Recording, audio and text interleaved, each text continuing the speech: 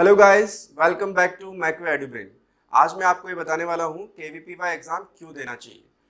अगर आप लोगों में से बहुत से लोगों को पता नहीं है कि के वी एग्ज़ाम क्या होता है तो उसके लिए मेरा पिछला वीडियो देखें, उसका लिंक मैंने डिस्क्रिप्शन में दिया हुआ है। आज के वीडियो के ज़रिए मैं ये बताने जा रहा हूँ कि आखिर वो इंपॉर्टेंट रीजंस क्या हैं, जिसकी वजह से हर साइंस स्टूडेंट को के एग्ज़ाम ज़रूर से देना चाहिए।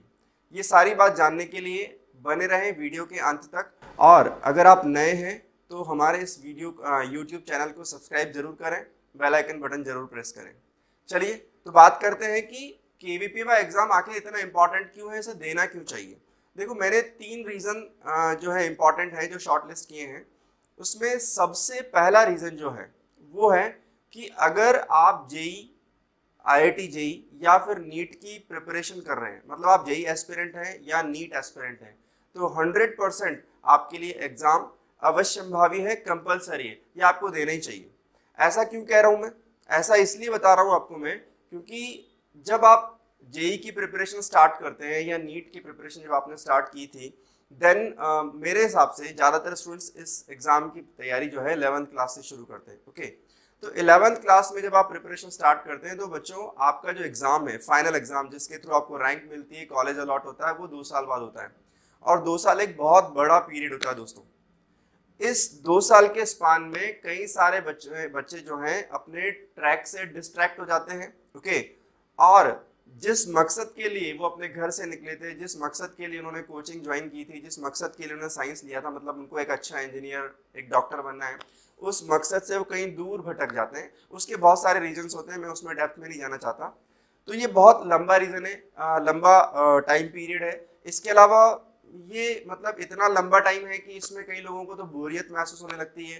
परफॉर्मेंस अप एंड डाउन हो जाती है टेस्ट में। जो कोचिंग्स आप लोगों ने जो भी कोचिंग ज्वाइन कर रखी है उसमें जो आप टेस्ट देते हैं फॉर्ट नाइटली या मंथली उसमें जब परफॉर्मेंस अच्छी नहीं आती हमारा कॉन्फिडेंस लो होता है तो वो भी एक बहुत बड़ा रीज़न बनता है कि हम आ, उस हमारी पेस को जो है मेंटेन नहीं रख पाते हैं उस एंथुजियाज़म को मेंटेन नहीं रख पाते हैं। और बच्चों, ये कोई आसान काम नहीं है, इसमें आपकी गलती भी नहीं है, दो साल एक बहुत बड़ा पीरियड होता है। तो आखिर कैसे अपने जोश को, उत्साह को बनाए रखें? देखो, अगर जो एग्ज़ाम है आपकी कोचिंग्स में डेफिनेटली वहाँ टेस्ट होते होंगे, ठीक है? लेकिन वो रियल एग्ज़ाम फीलिंग नहीं देते हैं आपको। मान लीजिए, ऐसा रियल एक्सपीरियंस वाला एग्जामिनेशन आपको हर सिक्स मंथ्स में मिले, जिसमें कि सिलेक्शन एक इंपॉर्टेंट चीज़ हो, ठीक है ना? जिसका अचीवमेंट आपके लिए फैमिली के लिए बहुत इंपॉर्टेंट हो तो क्या होगा? इन एवरी सिक्स मंथ्स आपका एड्रीनलिन सीक्रेट होता रहेगा और आप कहीं ना कहीं प्रिपरेशन में बने रहेंगे ओके ऐसा आपने देखा होगा ना कि जो, जैसे क्रिकेट की बात करते हैं, आपने देखा क्रिकेट की जो टीम होती है, हमारी जो इंडियन क्रिकेट टीम है या कोई भी किसी भी कंट्री की जो क्रिकेट टीम है, वो बहुत फ्रिक्वेंटली मैचेस खेलती हैं और इंटरनेशनल मैचेस ज़्यादा खेलना पसंद करते हैं। कारण उसका क्या है कि जितने ज़्यादा इंटरनेशनल मैचेस खिलाड़ी खेलता है उतना उसका एक्सपीरियंस बढ़ता जाता है, उतना ही प्रेशर को अंडर प्रेशर खेलने की उसकी जो कैपेसिटी है, वो डेवलप होती जाती है। यही काम आपको करना है। जो फाइनल एग्ज़ाम है जेई का एग्ज़ाम है या नीट का जो एग्ज़ाम है, उस फाइनल एग्ज़ाम में बहुत प्रेशर होता है। उस बहुत ज़्यादा प्रेशर में आपको अच्छा परफॉर्म करना है तो वैसा एक्सपीरियंस आपको पहले होना चाहिए। अब ऐसा तो नहीं है कि आप जेई बार बार दोगे, है ना? हम तो चाहते हैं कि आपका जेई एक ही बार में क्रैक हो जाए और आपको अच्छा कॉलेज मिले। लेकिन वैसा रियल एक्सपीरियंस कैसे मिलेगा? तो ये जो के वी एग्ज़ाम है, मैंने आपको बताया कि के वी एग्ज़ाम इलेवंथ में भी होता है नवंबर मंथ में ओके ट्वेल्थ में भी होता है नवंबर मंथ में। तो if you have started your preparation in eleventh और इन ट्वेल्थ सो इवन मतलब इवेंचुअली इमीजिएटली सिक्स और सेवन मंथ्स बाद आपको ये एग्ज़ाम मिल जाएगा। तो अगर आप वास्तव में सिंसियरली प्रिपरेशन कर रहे हैं, जेई और नीट की तो इस एग्ज़ाम से आपको अपनी प्रिपरेशन को परखने का एक मौका मिलेगा। और ये देना ही चाहिए, क्योंकि इससे आपका कॉन्फिडेंस बूस्ट हो रहा है ओके आपके, आप, आपको पता लग रहा है कि आप कितने गहरे पानी में क्योंकि जो एग्ज़ाम आप देने वाले हैं आईआईटी का या नीट का जो एग्ज़ाम देने वाले हैं, वो भी तो ऑब्जेक्टिव पैटर्न पे बेस्ड है और ये भी ऑब्जेक्टिव पैटर्न पे बेस्ड है। सिलेबस वही है साइंस इलेवन ट्वेल्थ ओके तो आपको ये एग्ज़ाम ज़रूर देना चाहिए। जो जेई एस्पेरेंट है या फिर जो नीट एस्पेरेंट्स हैं, उनके लिए ये बहुत इंपॉर्टेंट एग्जामिनेशन है, अपनी तैयारी को परखने का और अपने जोश को, अपने एंथुजियाज्म को बनाए रखने का ओके बाई चांस जैसे कुछ आप लोगों के दिमाग में आ रहा होगा, सर, अगर मान लो सिलेक्शन नहीं हुआ तो हमारा तो कॉन्फिडेंस ही लो हो जाएगा। देखिए, अगर आपका केवीपीवाई में सिलेक्शन नहीं होता है तो आपको अपना कॉन्फिडेंस लो करने की बिल्कुल ज़रूरत नहीं है। क्यों? क्योंकि ऐसे बतेरे एग्जाम्पल्स हैं जिनका केवीपीवाई में सिलेक्शन नहीं होता है, लेकिन वो नीट में बहुत अच्छी रैंक लेके आते हैं, जेई में बहुत अच्छी रैंक लेके आते हैं।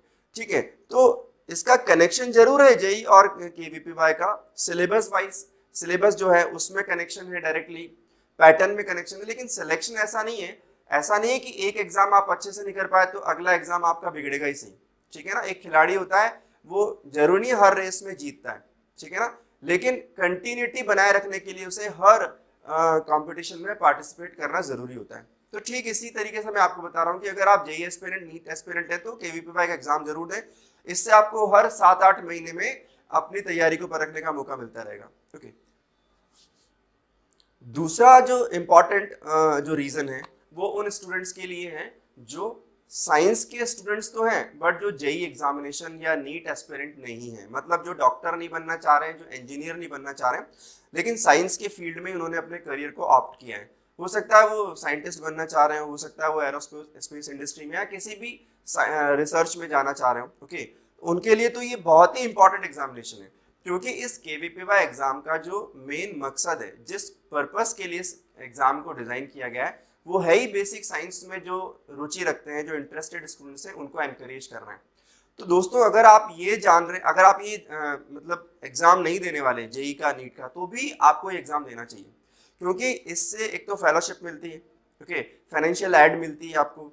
और एक बहुत सारे अच्छे कॉलेजेस ऐसे हैं इंडिया में जो K V P Y scholar को एडमिशन में प्रेफरेंस देते हैं ओके जैसे आइजर हुआ Indian Institute of Science Education and Research या खुद आईआईएससी जो उसकी गवर्निंग बॉडी है, जो इसको एग्ज़ाम को कंडक्ट करती है इंडियन इंस्टीट्यूट ऑफ़ साइंस और ऐसे बहुत सारी यूनिवर्सिटीज हैं। तो अगर आप, मान लीजिए you are not interested in JEE and NEET leave it लेकिन आप साइंस में तो करियर बनाना चाहते हैं ना भाई? साइंस में तो आपको इंटरेस्ट है, तभी तो आपने साइंस लिया है। तो आपको किसी अच्छे कॉलेज में ग्रेजुएशन करने का मौका मिलेगा। अगर आप के वी पी स्कॉलर हैं, वहाँ पे आपको प्रेफरेंस मिलेगी। तो ये भी एक आपके लिए इंपॉर्टेंट रीजन है। जो बच्चे नहीं बनना चाह रहे इंजीनियर नहीं बनना चाह रहे डॉक्टर कोई बात नहीं। इससे आगे और बहुत कुछ स्कोप है आप लोगों के लिए। लेकिन वहाँ जाने के लिए आपको इस तरह के एग्ज़ाम्स देना ज़रूरी है। और तीसरा, सबसे इंपॉर्टेंट जो रीजन है, वो है कि by the KVP exam you earn a social reputation अगर आप केवीपी फेलो बन जाते हैं तो जो सोसाइटी में, जो समाज में आपकी इज़्ज़त बनती है ना, वो मतलब देखने लायक होती है। और इससे आपका कॉन्फिडेंस बूस्ट होता है। देखो दोस्तों, आप सोच रहे होंगे, सर, ज़रूरी है कॉन्फिडेंस इलेवंथ में बूस्ट करना है? मैं आपको बता रहा हूँ कि जितना ज़्यादा और जितना जल्दी आपके अंदर कॉन्फिडेंस होगा ओवर कॉन्फिडेंस की बात मैं नहीं कह रहा हूँ, सिर्फ़ एक कॉन्फिडेंस की बात है, अपने आप पर विश्वास की बात है। जितना ज़्यादा आप अपने आप पर विश्वास करेंगे, उतना ही सफलता के आप करीब पहुँचेंगे। अब आपको अपने आप पर विश्वास क्यों हो? देखिए आपके पास कोई अचीवमेंट नहीं है ओके आपके पास नॉलेज बैंक नहीं है, आपके पास कुछ अच्छे सर्टिफिकेट्स नहीं है तो फिर किस बात का कॉन्फिडेंस आपको अपने ऊपर होगा? लेकिन अगर आपकी नॉलेज अच्छी है और उस नॉलेज जो अच्छी नॉलेज है, उसके थ्रू आपने प्रूव किया है किसी एग्ज़ाम में अपने आप को, कोई आपने जो रिवार्ड जो है आपने जीता है, कोई सर्टिफिकेट आपको मिला है, कोई फेलोशिप आपको मिली तो डेफिनेटली ये आपके तर्कश के वो तीर हैं जो आपके कॉन्फिडेंस को बढ़ाते हैं। देखिए, जंग जीतने के लिए हथियारों की ज़रूरत नहीं होती। जंग जीतने के लिए किस बात की ज़रूरत होती है? हौसले की ज़रूरत होती है। किस बात की ज़रूरत होती है बच्चों? हौसले की ज़रूरत होती है। देखो, मैं आपको एक बार बताता हूँ, तीन चीज़ें होती है। एक होता है जुनून, एक होता है हौसला और एक होता है अनुभव। देखिए, जिनके पास जुनून है तो जुनून आपसे वो करवाता है जिसके बारे में आपने कल्पना भी नहीं की, जिसके बारे में आपने सोचा भी नहीं। मतलब जो आपकी लिमिट से बाहर आपको लगता था, आपका जुनून आपसे वो करवा सकता है। ओके? और हौसला हौसला आपसे वो करवाता है जो आपने, जिसकी आपने कल्पना की है, जो आपका सपना है, अपने सपने को पूरा जिसको आप करना चाहते हैं। मतलब हौसला आपके लिए किस लिए ज़रूरी है? जो आप करना चाहते हैं उसको पूरा करने के लिए हौसला, उसको पूरा करने के लिए साहस की रिक्वायरमेंट है। और अनुभव आपसे वो करवाता है जो आपको करना चाहिए। तो यहाँ पर आपको हौसले की बहुत ज़रूरत है। अगर आप इलेवंथ में ट्वेल्थ में हैं तो आपको एनकरेजमेंट चाहिए। ठीक है ना? ये एनकरेजमेंट ऐसे छोटे छोटे एग्ज़ाम से तो मिलता है। इन्हीं से तो कॉन्फिडेंस होता है, एक बड़े प्लेटफॉर्म पे खड़े होने की हिम्मत हमारे अंदर आती है। तो ये बहुत ज़रूरी है आप बच्चों के लिए। तो इसलिए मैं बता रहा हूँ कि आपको एग्ज़ाम ज़रूर देना चाहिए। It will be a milestone in your life, whether you get selected or not. But हाँ you must prepare sincerely for this examination. Okay? और एक क्वेश्चन आपके दिमाग में आ रहा होगा कि, सर, इसकी प्रिपरेशन कैसे करें? इसका सिलेबस क्या होता है? तो बच्चों, मेरा नेक्स्ट वीडियो इसी पे आने वाला है कि इसका सिलेबस क्या है, उसकी प्रिपरेशन कैसे करना चाहिए। तो बने रहिए मैकवा एडुब्रेन के साथ। Thank you